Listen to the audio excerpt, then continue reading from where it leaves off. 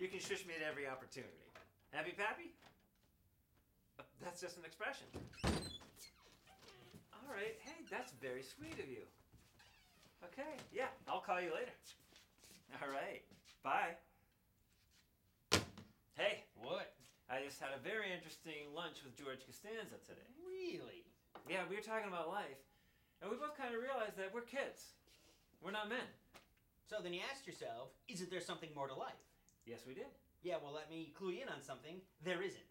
There isn't. Absolutely not. I mean, what are you thinking about, Jerry? Marriage? Family?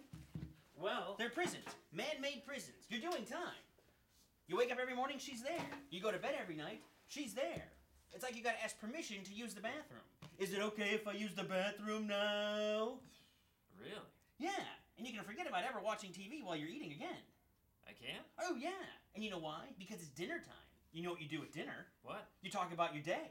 Well, how was your day today? Was it a good day today? Was it a bad day today? Well, what kind of day was it? Well, I don't know. Well, how about you? How was your day?